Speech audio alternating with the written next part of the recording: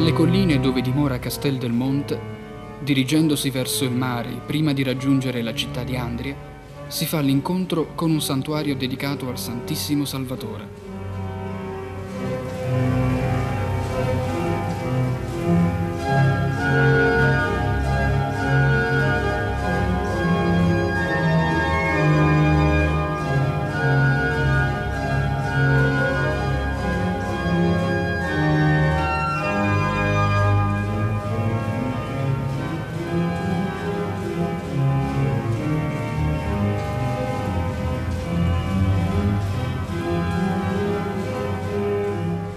Potete vedere, la campagna tutt'intorno è colorata di verde. La vite e l'ulivo, qui come in buona parte della Puglia, fanno da padroni in questa terra fertile e generosa.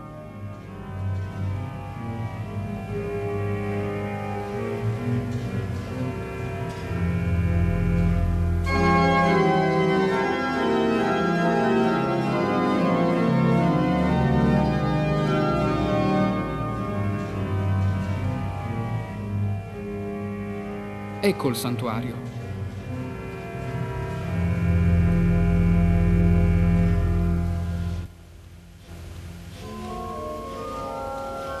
Questo documentario, in una mezz'ora, vi parlerà con semplicità del nostro santuario, incominciando dalla sua storia, alle sue architetture, fino ad ascoltare dalla propria viva voce la testimonianza di chi ricorda bene la vita della dimora religiosa intitolata al Cristo Salvatore.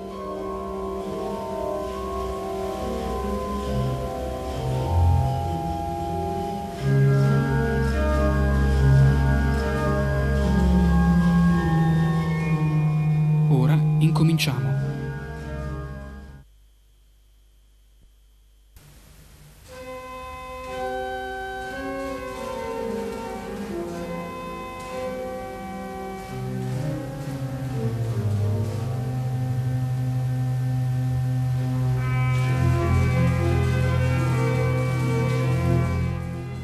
Memorie più antiche, che portano al Medioevo, raccontano della periferia della città di Andria come una vasta zona abitata di numerosi villaggi. Si ricordano San Mauro, San Lizio, Santa Terella, San Vito, Muritano, Cidomola. Di questi, il più popolato e situato a breve distanza dal cosiddetto Burgo, sicura dimora della preistoria andriese, era il villaggio di Trimoggia, il quale viveva tutto intorno alla sua chiesa, dedicata alla Vergine Maria. Fin quando, agli inizi del XII secolo, guerre, carestie e distruzioni costrinsero il popolo di Trimoggia a riparare nella vicina e più sicura Andria.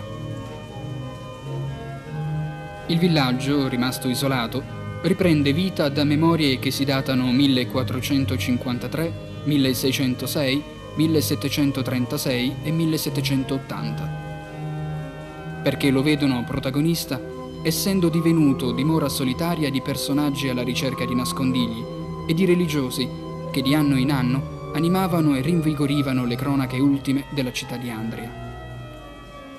I trimodiesi, del resto, non avevano abbandonato la loro chiesa fu lasciata in custodia a chierici che si succedettero come fra Antonio Davico e fra Oronzo Maccagnano di Nardò e fu sempre visitata da ogni generazione seguente che partecipava ai santi misteri che vi si celebravano. Come folto era il seguito in occasione della festa di Santa Maria di Trimoggia durante ogni ottava di Pasqua.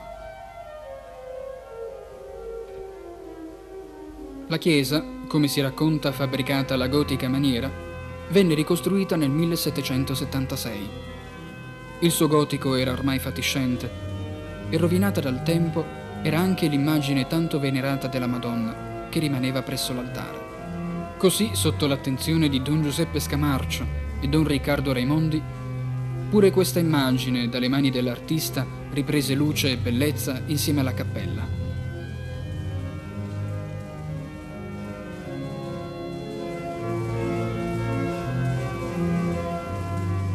Una lapide ricorda questi avvenimenti.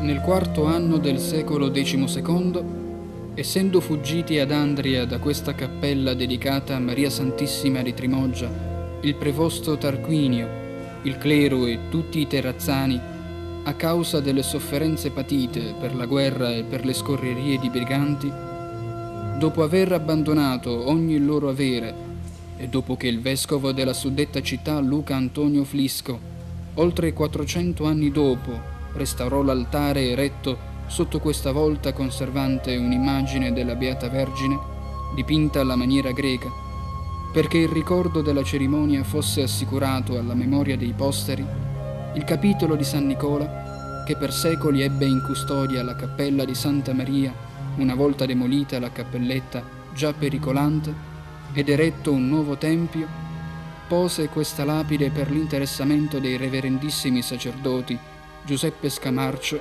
e Riccardo Raimondi.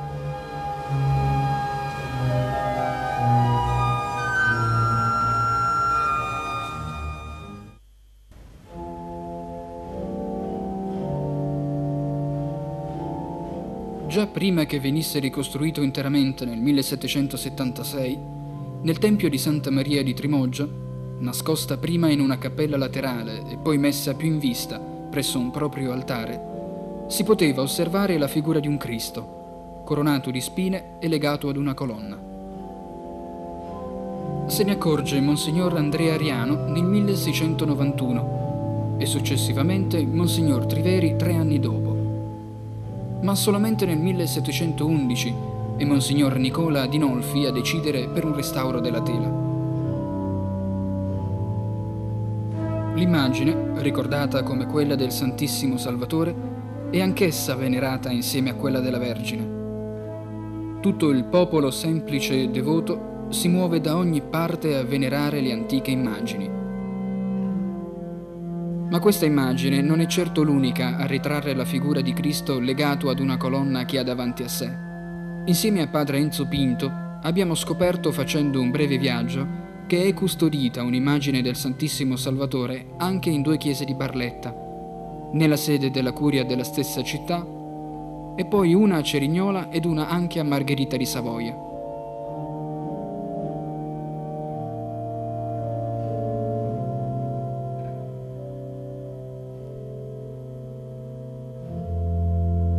Qui ci troviamo nella chiesa di San Giacomo, a Barletta. L'immagine è del 1596.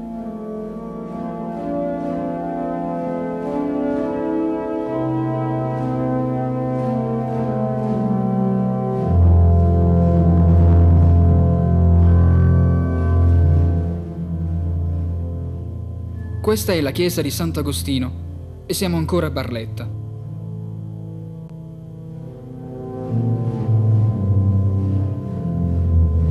L'immagine nasce a cavallo fra il XIV e il XV secolo.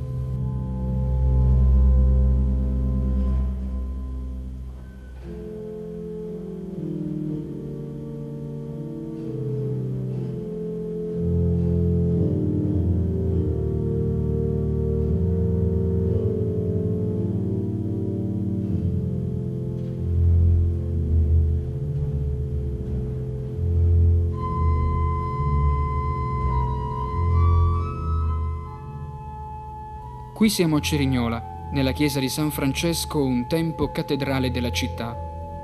L'immagine posta in uno sfarzoso altare del Seicento.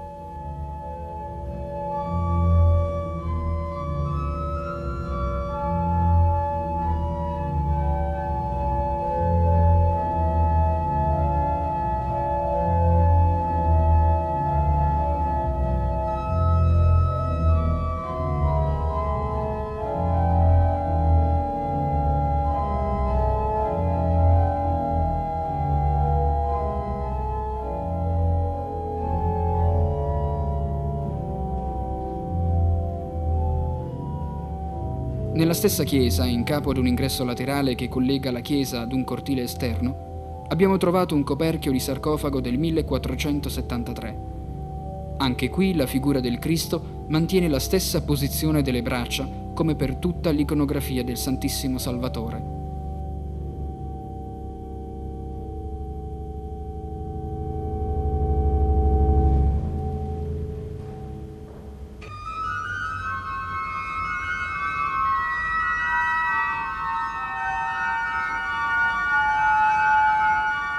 Quest'immagine del Santissimo Salvatore l'abbiamo trovata nella curia vescovile di Berletta e abbiamo saputo che tempo addietro si trovava nella chiesa di Santa Maria Maggiore. La tela è del 1513.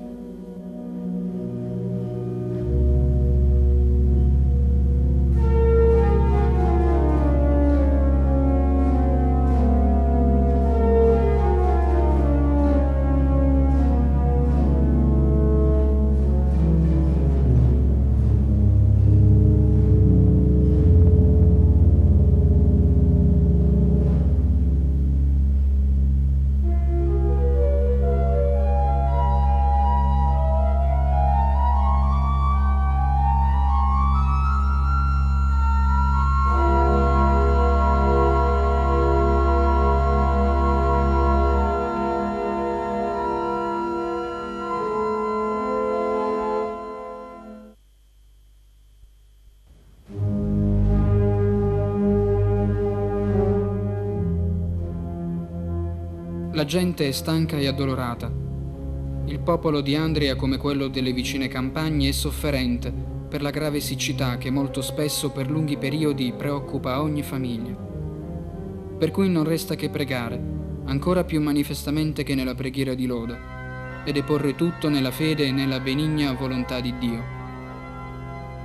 Così si muovono solenni processioni intorno all'immagine del Cristo Salvatore, fatte di uomini e donne di ogni età, tutti fiduciosi nel beneficio prossimo della pioggia.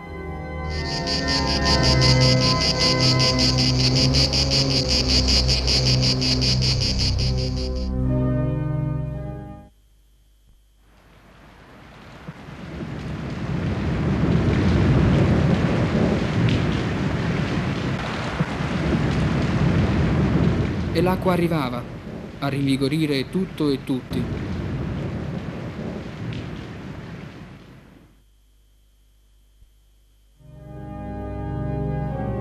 Agli occhi dell'intera popolazione e della sua fede, la figura del Salvatore così trova il massimo patrocinio.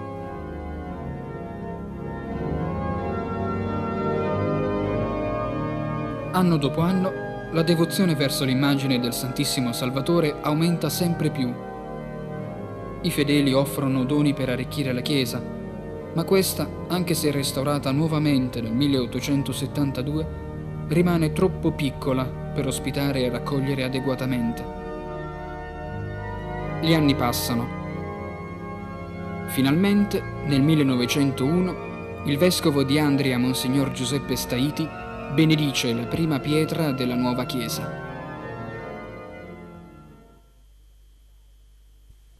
A dire la verità, il santuario, così come noi lo vediamo adesso, è stato costruito nell'arco di tempo 1901-1909. La prima pietra fu eh, posta il eh, primo venerdì del mese di marzo 1901 dall'allora vescovo Monsignor Staiti. La costruzione come potete vedere è tipica, si può dire unica qui nella zona. I motivi architettonici li possiamo riconoscere come stile romanico toscano. Il romanico toscano infatti si evidenzia soprattutto per l'alternanza di fasce di colore. È da notare l'estrema cura utilizzata dai costruttori nell'innalzare questa facciata. Come vedete la base della facciata è eh, di eh, roccia, roccia pura, roccia molto elaborata, con un bugnato molto delicato. Una osservazione particolare per il campanile che come vedete si innalza proprio sulla entrata. è un fenomeno artistico un po' diverso da quello che noi osserviamo nelle nostre chiese qui della zona. In genere il campanile è o accanto alla facciata oppure dietro, accanto all'abside. Invece questo insiste sulla entrata. È un fenomeno che osserviamo soprattutto nelle chiese francesi dell'inizio secolo, intorno a Lourdes, Betarram. Il campanile è di pianta ottagonale, quattro lati lunghi, quattro lati brevi. Sembra appunto che i lati brevi siano stati ottenuti con il taglio degli spigoli. Il progetto di costruzione fu affidato all'architetto Riccardo Ceci. Il suo nome è famoso agli inizi del secolo anche perché egli ha costruito altri edifici e monumenti nella città di Andria. Per esempio il monumento ai caduti, l'entrata al cimitero comunale, la cappella della Sacra Spina in cattedrale e il santuario Santissimo Salvatore che si impone davvero immediatamente proprio per l'equilibrio del suo volume in altezza e in larghezza. È stata un'osservazione davvero elementare quella di scoprire che queste eh, misure sono organizzate secondo il numero aureo, secondo la sezione aurea. Misura che eh, si eh, nota applicata in tutti gli elementi architettonici sia all'esterno come pure all'interno della chiesa.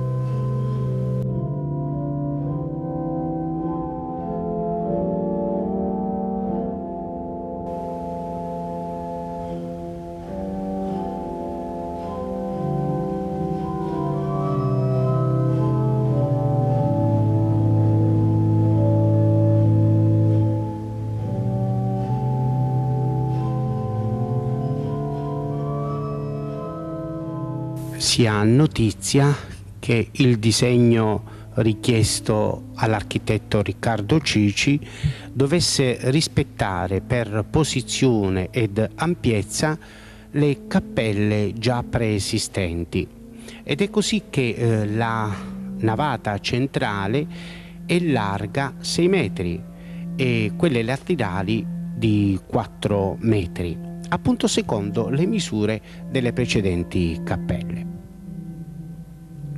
I quattro pilastri al centro dello spazio del santuario dispongono il soffitto in nove campate a tutto centro.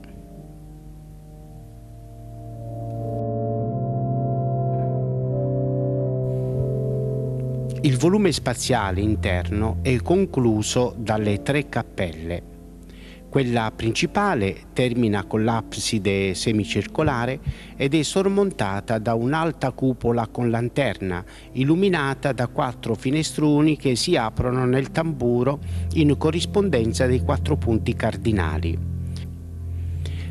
Pare che per il materiale non si sia badato a spese, Infatti le colonne e le lesene sono di marmo pregiato, cosiddetto marmo decorato, e per i capitelli e il rivestimento dei pilastri un marmo grigio chiaro. Tutta la notte non dormii. Alla mattina, era il 4 agosto del 63, mi venne a pigliare l'allora il presidente delle feste, il Cavaliere De Tommaso, venni al Santissimo Salvatore con un proposito e un ringraziamento nel cuore. E fu proprio da quel giorno, quella mattina del 4 agosto, festa di San Domenico allora,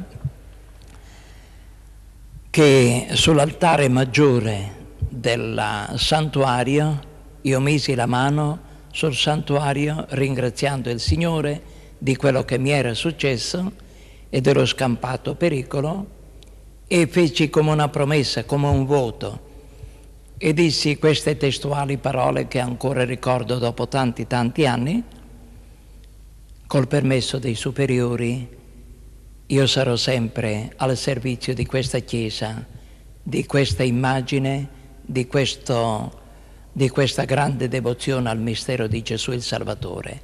E di lì che nacque tutto il mio amore, io che ero il nemico numero uno, non mi voglio paragonare a San Paolo, ma anch'io fui sbattuto contro un muro e di lì venne la mia conversione. Mentre celebravo la messa quel 4 dicembre 74, non so come un'ispirazione, io non lo so dire, vidi davanti a me durante l'elevazione come un'antenna altissima, un'antenna, un'antenna da, da radio, da televisione. E come una voce che mi disse, solo tu devi sentire il Vangelo. Io ve lo racconto, fratelli, così con uh, la semplicità, la gloria di Dio. Fu quello il momento in cui mi misi in testa devo costruire una stazione radio religiosa per diffondere il Vangelo.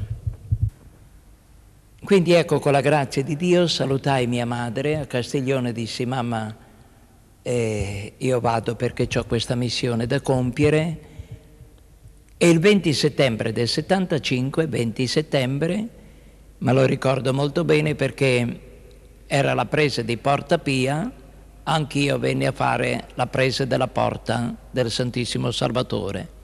Infatti arrivai in macchina e mi fermai davanti al cancello chiuso del santuario, mi misi in ginocchio, dico Signore,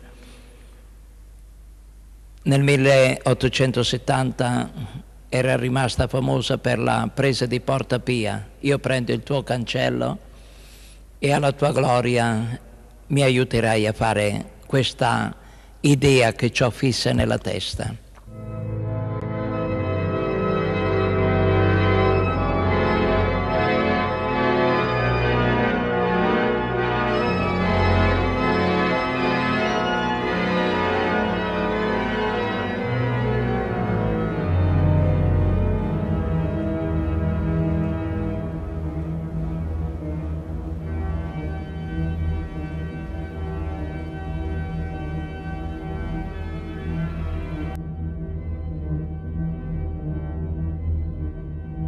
Come vi dico, eh, nascemmo in bianco e nero con già tutte le apparecchiature dotate per la trasmissione a colori.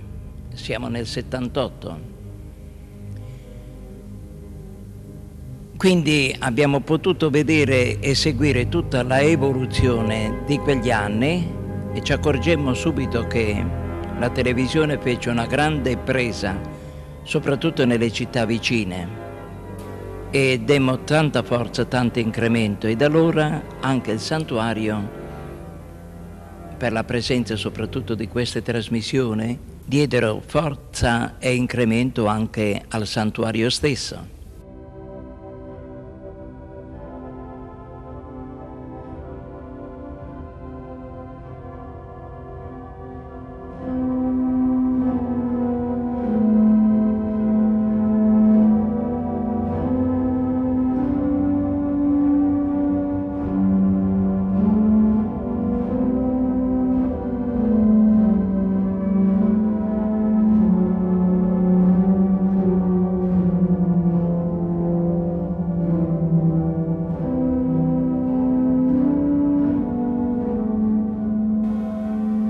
Ogni santuario rappresenta il desiderio degli uomini trasmesso da Dio di avere vicino a sé disponibile un luogo di riposo e di serenità, dove è possibile sempre rifugiarsi dalle difficoltà quotidiane. Rimane un luogo dove dimora la spiritualità e il silenzio, dove si può stare tranquilli con se stessi e stare bene con gli altri. Ogni santuario è il riposo dell'anima in comunione con Dio con la sua parola e il suo amore.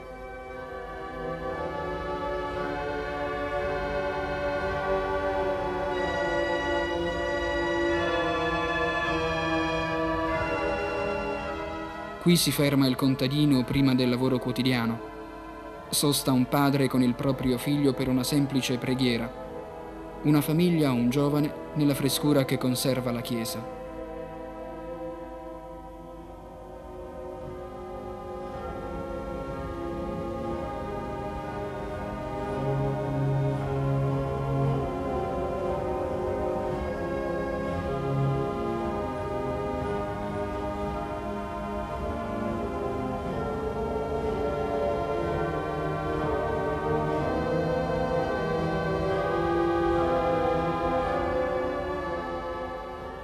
E arrivano in gruppo, dalle parti più lontane, carichi di devozioni al Santissimo Salvatore, oppure sconoscenti, giunti al santuario accompagnati dal proprio parroco, come questi ragazzi, per pregare e anche divertirsi.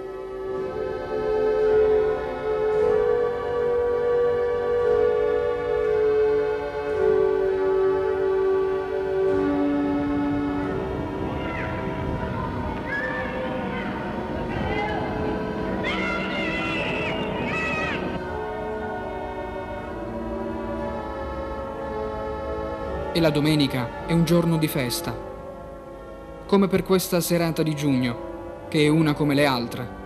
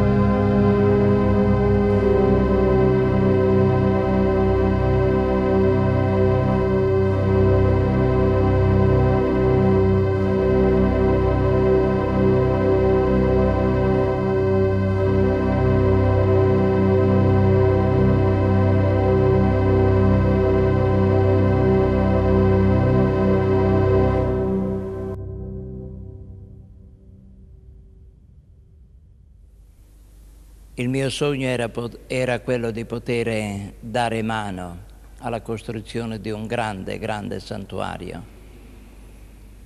Ma penso forse che la provvidenza del Signore ci ha fatto capire che questo santuario è proprio questo grande mezzo radio e televisivo che porta la parola di Dio e fa sì che tutte le case, tutte le famiglie delle città che ci possono ascoltare e vedere siano diventate loro il santuario domestico.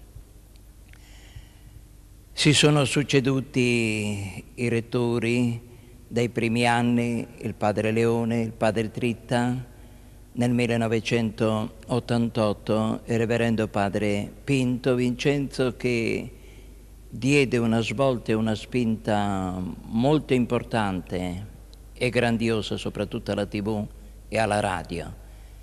E oggi se abbiamo avuto questo grande allargamento della radio e della tv, la dobbiamo proprio a lui. Ci auguriamo di cuore che la nuova comunità, tutti i confratelli, tutti i collaboratori, le collaboratrici, tutti proprio che si sono dati a questo grande convegno della gloria di Dio, del Santissimo Salvatore, possiamo trovare in questi mezzi un mezzo di pace, di elevazione culturale e religiosa, un mezzo di serenità apportatrice veramente di pace e di benedizione.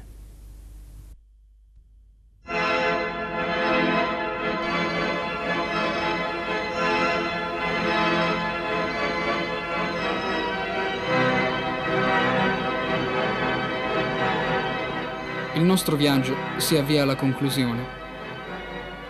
Abbiamo conosciuto un luogo che vive da tanti anni vicino alle necessità della gente d'intorno, come al devoto finito più lontano che ben ricorda.